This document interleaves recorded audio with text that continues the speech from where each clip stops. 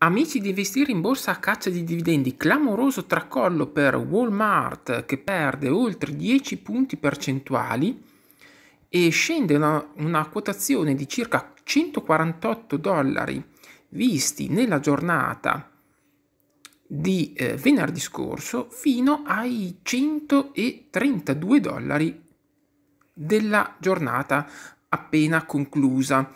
Cosa è successo? Che cosa sta facendo crollare questo colosso della grande distribuzione? Tra l'altro è rarissimo vedere Walmart scendere in una maniera così decisa.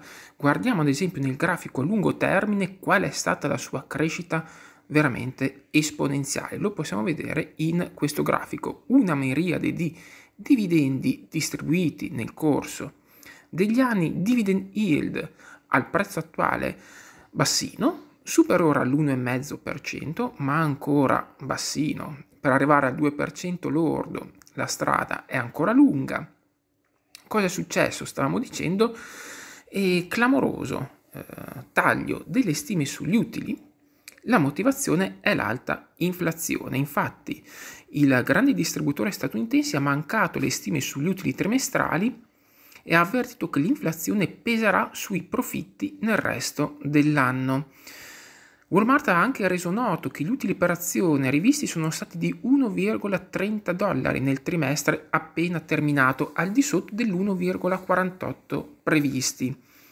I ricavi invece leggermente più alti di quanto si prevedeva. Questa appunto la tendenza, quella di margini inferiori proprio a causa dell'inflazione.